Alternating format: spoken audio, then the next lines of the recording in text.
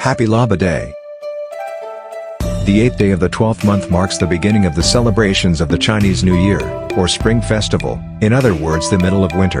This tradition, which has been celebrated for over a thousand years, is called the Laba Festival. Its origin dates back to the beginning of the Sui dynasty, when Buddhism was at its peak in China. Temples around the country have set up kitchens for the poor and homeless and are organizing activities to entertain them. Over the centuries, the Laba festival has lost its religious connotation. Above all, it has become an occasion for the people to celebrate. Let's take a look with Ching Song on the dishes offered as part of this festival. At the beginning of the Laba festival, most households in northern regions of China make a special porridge. This is no ordinary tasteless rice porridge. Laba porridge is sometimes composed of more than 20 ingredients, including rice, beans, nuts or raisins.